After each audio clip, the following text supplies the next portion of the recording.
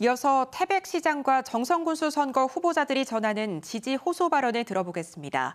이들 후보 모두 당선을 자신하고 있습니다. 정창환 기자입니다. 태백시장 선거는 여야 후보의 맞대결 구도입니다. 더불어민주당 유태호 후보는 지난 4년간 태백시장 경험을 바탕으로 지역 위기를 극복하겠다고 자신합니다. 지난 4년 동안 깨끗하고 청렴하게 운영했고요. 이 바탕 속에서 경험까지 쌓았습니다. 이런 후보가 저는 시장이 반드시 돼서 태백을 이끌어야 된다고 생각합니다.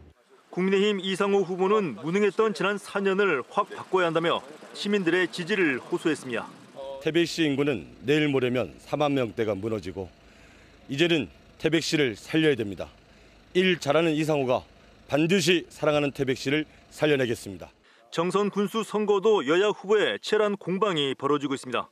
더불어민주당 최승준 후보는 의장과 행정에서 풍부한 경험을 내세우며 국민 기본소득제 도입을 약속합니다. 강원랜드에서 발생하는 카지노 주식 배당금을 가지고 전 국민에게 1인당 20만 원씩 지원하는 전국 최초의 시험적 사업이 되겠습니다.